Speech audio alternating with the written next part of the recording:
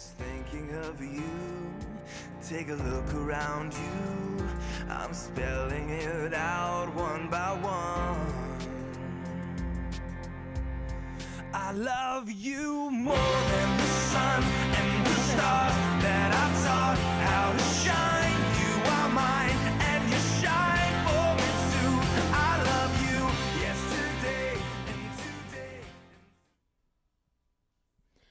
Hi, this is the Superbook Show. And just one thing if you want to email us, if you're interested in being on the show, or you want to send your comments, questions, or ideas, send them to superbooks7 at yahoo.com. If you'd like to see some other Superbook shows, go to youtube.com and look for the name Superbooks7. We're in the studio today, and my guest and co host is Latifa, and I'm going to let her introduce herself to you. Hello. Well, thank you for watching Superbooks. I'm here today to talk about health and fitness. I'm a certified personal trainer. I work out of Crunch Fitness gyms and I also do personal training sessions. So, today I will be talking about how to get in shape, why it's important to get in shape, and how you can incorporate good eating habits with exercise to get the, the best results. And Lynn here will be asking me questions um, about health and fitness. So that's what we'll be talking about. Okay, great. Um, I got this book um, probably about a year or two ago, and it's called The 28 Day Plan. As you can see, I could stand to lose 40 or 50 pounds. And uh, it's called The 28 Day Plan, and I did intend to follow it, but I bought the book and put it um, in the closet. I have breathed through it, you know, like flipped a few pages. And um, so you're into training. So besides the training, do you do other things like um, think about health food and what you take into your body, like, or are you just into the physical training, like with weights or things? Like, what exactly are you into? I think the first and foremost, most important thing about fitness is the way you think because it's mind, body, spirit. So if you have negative thoughts and negative feelings about your image, I think you want to start there first. Start seeing yourself in a better light. Start imagining yourself as someone who is healthy and strong, and um, imagine yourself with reaching the fitness goals before you've actually reached them. Then I would go straight to your diet. And um, if you drink a lot, if you eat a lot of heavily fat, hydrogenated oils and foods, if you eat a lot of processed foods, then those things immediately must go out of the diet. I prescribe to myself, and I also can somewhat recommend to others. They probably would have to see a certified nutritionist, but I go by eating very natural, clean foods such as fruits and vegetables in the morning. Start the day off like that with fresh cup of water, maybe some squeezed lemon, and that way you get your body fired up and started. Um, you awaken the digestive system. And what happens is you start to get that moving because most people don't realize that the colon is a seat of your health and your immune system. So when you're backed up, you know, you gain weight, your body doesn't know what to do with the toxin, so it stores it in the fat. And that's why people get cancer. And most people don't know that if you have a slow colon, that you're more prone to cancer, you're more prone to weight gain. And we all know that what happens when you gain weight, you get lower back problems, you start to get joint problems. Mm-hmm. I mean, it's so many things that can happen. So that's why I say that diet is is probably the um, besides the way you think and feel about yourself, your diet is one of the most important parts as well. Um, then after breakfast, you could have you could introduce some protein and fiber. Maybe have a chicken salad, multigrain bread, um, and then go on through the day. Steamed vegetables, a cup of brown rice, or um, multigrains like quinoa or kamut, um, couscous, anything but white rice, white white starches. And in this day and age, it's very well known that you know white rice, sugar, chips, anything that's gonna raise your blood sugar is bad. so you just got to cut that out if you're really trying to lose weight.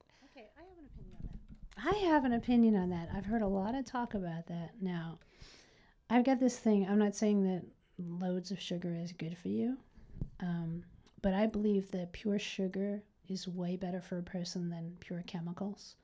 And I don't know if you've noticed it. What the what society is trying to do now, what the big corporations are trying to do now, is they're trying to get little children hooked on the taste of that Splenda there's that chemical that chemical substitute called Splenda. And what they're doing now, and you have to notice this. I want everybody to notice this when you go out shopping. You're going to see products, old products you've always seen, and they have a new label on their boxes or on the cans, and it will say new taste. You find a product that's labeled that it has a brand new taste or a better taste, and then turn around to the ingredients, and you will see that they're sneaking Splenda in there or sneaking chemicals in there. And they'll say half the calories. Of course, it's half because they're taking maybe half or all the sugar out and they're putting Splenda there. So I'm really against um, not so much as the campaign against sugar, which is okay as long as we keep educating people about get rid of the Splenda. It's different if you have a diabetic issue, if you have a medical issue where that's what you have to take, that's a whole different story. But when you have the corporations are trying to get kids six, seven, eight years old because they're putting it in the children's cereal now. And there's no reason to put that in children's cereal, you know, to put chemicals in there and to promote it as a good taste. Like they don't have a big label on the front saying contains Splenda because some parents might say, "Mm, not sure if I want that for my child. You know, they should have it, you know, give people a choice. Even the gums, notice a lot of the gums, and I've been looking at all the labels. Many of the gums, they say new taste. It has chemicals in it. So um, I'm going for, um, yes, I'm overweight right now, but you know what? Give me my sugar. Don't give me this Splenda because years and years ago, I read in science magazines that that will cause incontinence. Now, you'll see that come on the news like last month or 10 weeks from now as if it's news, but it's a chemical. If you put a chemical into your body, you know, it's going to harm your body.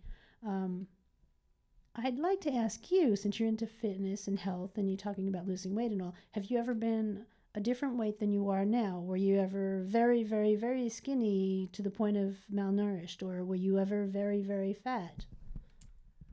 I've never been um, overweight, like in an unhealthy way. I used to be, uh, when I was younger, when I was 17, of course I was skinny because I was 17. But then, you know, when I got older in my 20s, I did gain a lot of weight. And I gained weight because I moved from home and went to college and started eating a lot of processed foods. I gained probably 20 to 30 pounds when I got to college. And um, I started hanging out with some people who were into eating um, natural foods. They were vegetarians, actually. So I started going into that, eating more fruits and vegetables, and I dropped the weight really quick. I started juicing um, spinach, beet, carrot, apple juice, and I got I lost like 20 to 30 pounds within a year. So um, then I started to study and read about processed foods.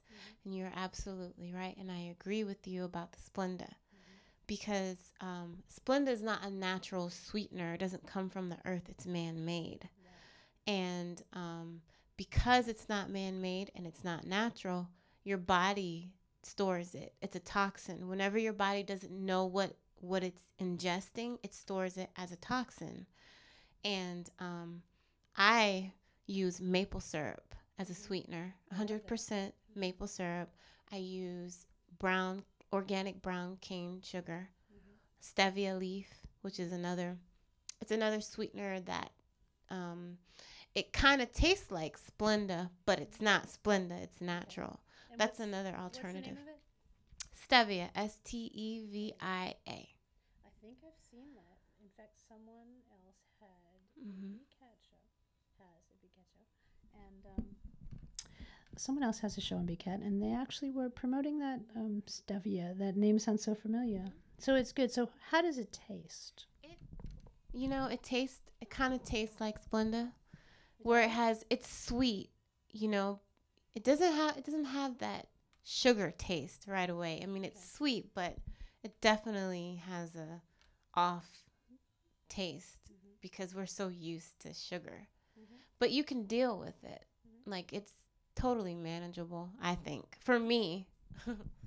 Okay, now I'm going to talk about something different. It's regarding health, and it's health related.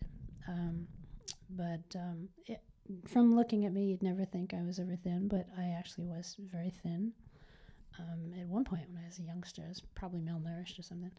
Um, I gained a lot of weight at a certain point in my life, and that's um, one issue that I like to talk about very quickly. I won't stay on it because I do a lot of shows about domestic violence and um, domestic violence can cause you to gain tons of weight uh, living in a house like that. And it can also cause you to lo- lose a lot of weight. And um, one of the ways that I gained the weight was um, I had discovered that one of the ways that I could keep the person who was battering me away from me was to be cooking and eating. So I cooked and cooked and ate and ate and cooked, and that was better than my other options. so that can cause you to gain weight. Um, I like this thing about stevia. I think I might um, try that. But I'm interested in knowing, like, so stevia is a brand name, and I'm wondering what's the ingredients of stevia. I'm wondering, um, an herb. Tell me all about it. Stevia is a leaf. It's a green leaf, and they have different forms of it, kind of like put in a tea bag. Where is it grown? I'm not really sure where, exactly where it's grown, but the Native Americans have been using it, so I know it grows in the United States. But I don't know exactly what region because Native Americans were all over. but um, yeah, so you can buy it in the leaf form or you can buy it in a processed form. Now, some people stay away from the processed form because they feel, they feel it's processed still, but it's still an herb. So where can you buy it in the leaf form? You can buy it in the leaf form from Whole Foods. Okay. And there's also Lifetime um, health food store. What about um? There's a place on Seventh Avenue in Brooklyn, uh, Bactine. There's a health food store on Seventh Avenue. Um, do you know which one I'm talking about? Uh, yeah, I think I do. It's a pretty big can't store. I don't remember the name of it either. Okay. I just saw it like a couple weeks ago. But yeah, stevia leaf, you can get that natural green, dried, and you can use that have as a a sweetener. So my question is this: um, You said you know you had gained the weight, and then you started eating um, natural foods like vegetables and fruits and stuff like that. Now, so you gained the weight, you started eating these things. While you were doing that, I think I know the answer to the question, but um, and I'm going to guess. I'm going to guess that you were not using any quote diet foods. You were not using any Splenda not any sugar twin or anything. You were just eating, you were eating real food, Right. which was all real healthy, and you lost weight Yes. and you kept the weight off. So that goes to say something for fruits and vegetables. You can actually overeat vegetables and you're still not going to gain the weight that you would if you're eating, uh, overeating like hot dogs or something like that. Velveeta shells and cheese. So, what kind of exercises? Um, what kind of exercises would you do for um, the flabby underarms that some people have? Of course, not me. You talking about yeah, right there. What kind of exercise can we do for that? Well, this of your body is called your triceps. There's usually for women, it's a trouble area. We call it the wings. So, um, tricep dips. Uh, you can get a gallon of water and sit at home. Just lift it, hold it. Um, you can get a stack of books. Keep the elbows tight and just press and pulse it. You do that for a minute. Do three minutes. Take 30 second rest in between each minute. Pulse it at home. You can use a chair or a table and do tricep dips where you put your hand and you just drop your body. Um, also, holding. I would do high repetition. It's called endurance training. So you would do 12 to 15. Somebody starting out who just doesn't do any exercise at all, how would they start? Like with how many approximately? I would go for seven. Seven. Yeah. Because you want to do seven with proper form. When you get the form right, then you up the reps. And then you start to train even harder and you just work your way up to the amount. And then pretty soon your body will adapt to them. So you have to find another exercise to work the triceps. But another good way to work the arms in general, tricep, bicep, deltoids, is to hold positions. So if you're in a push up position, you can hold that. Practice holding that for a minute because what happens is you're in what you call the isometric phase.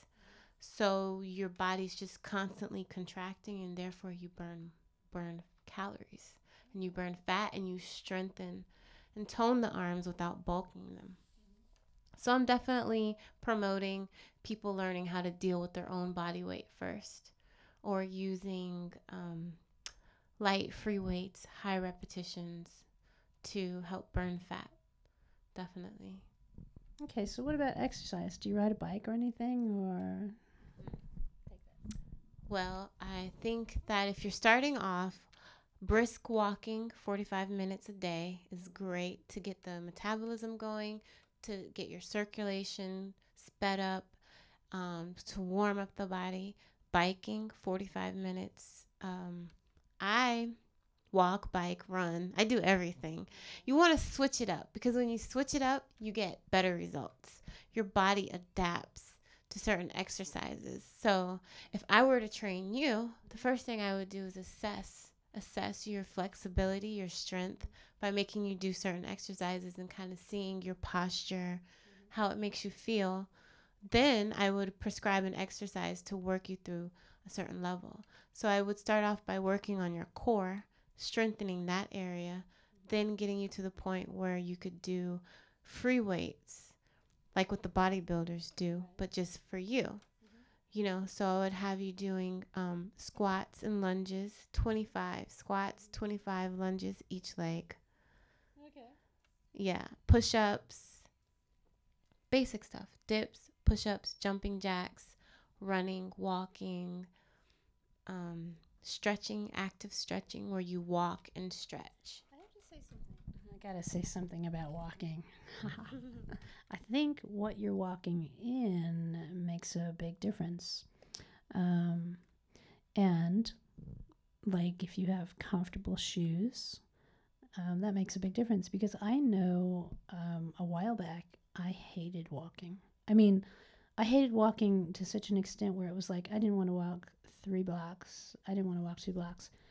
And um, what I found out was it was my shoes. it was not the walking, it was the shoes. And like um, when I got different shoes, like I could just walk forever, like walk all over the place. And don't even look at my shoes today because I'm wearing my marshmallow shoes, which probably every doctor would say are quite unhealthy. But I don't know if you've ever heard about the Crocs. They have shoes called Crocs, and they look like rubber or plastic or something like that. So I've got fake Crocs, and they're orange, which the camera's not on now, right?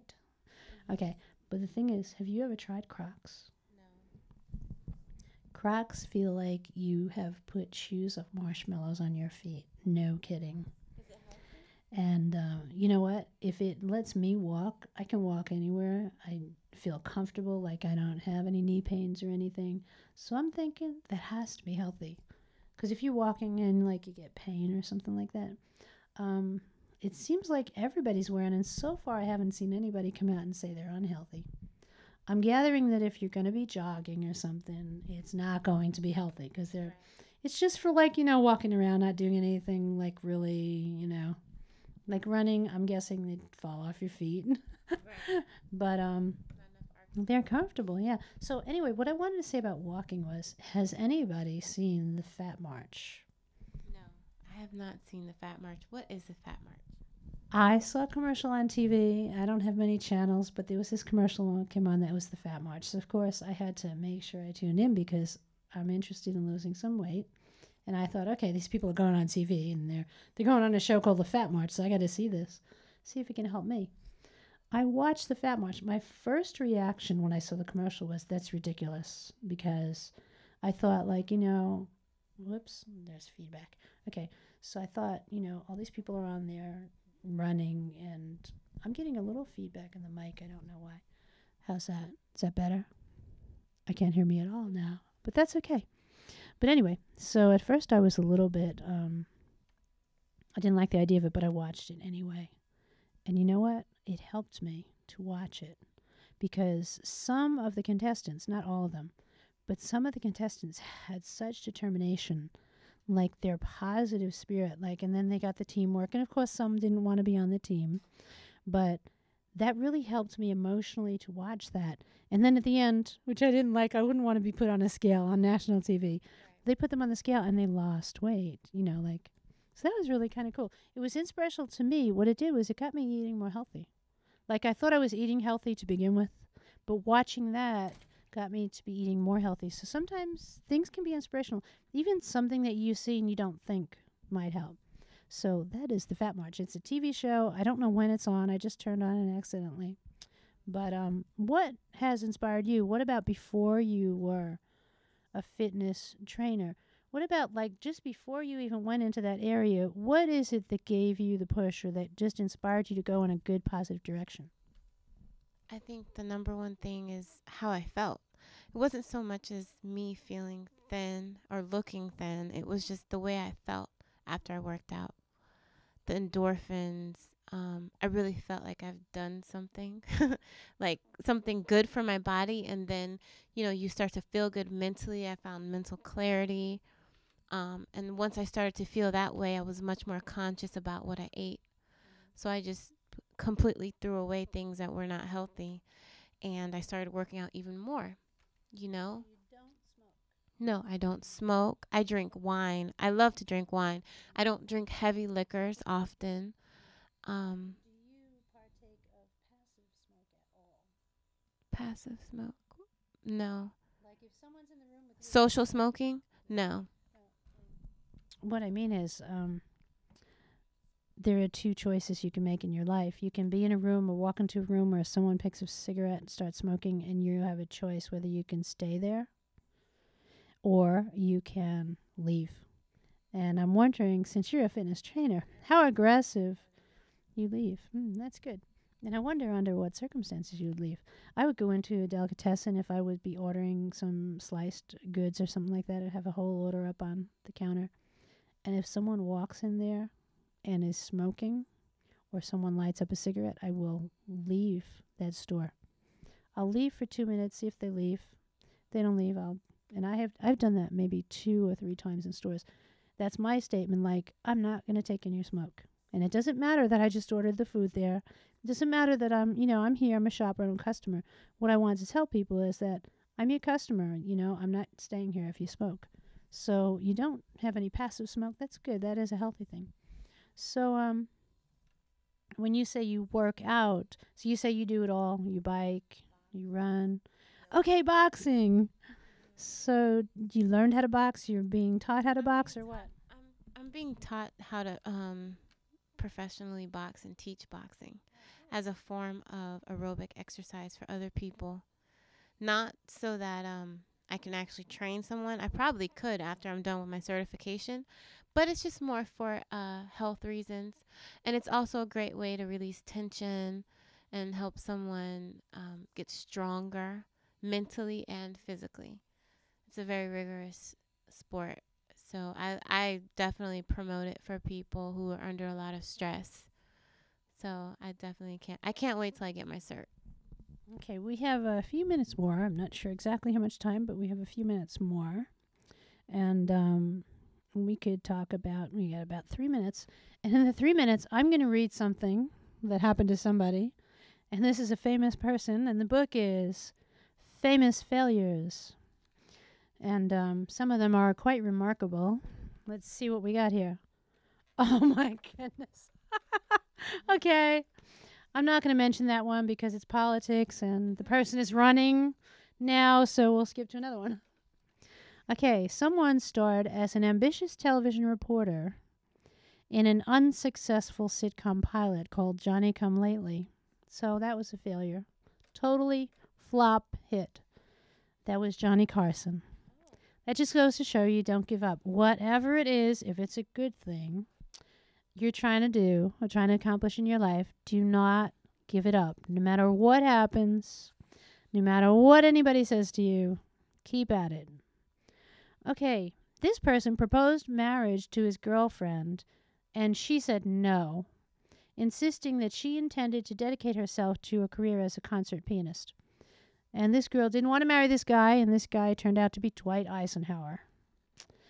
But I guess she's still playing the piano. We have like two minutes left. We're about to close the show, and we have um, new people walking into the studio, which they'll probably join us in the second show. So, anyway, we were just talking about the um, fabulous, famous failure failures that people have done. Do I- This person, I, you know, when I read in like, I never heard of that person. Okay, you really can't go by me because I haven't heard of a lot of people. But who wants someone more famous than that? Here it is. This person applied to admission to the United States Naval Academy and he was rejected. So I suppose that made him feel down, huh? So he was invited, he was rejected from the United States Naval Academy. His name was John Wayne.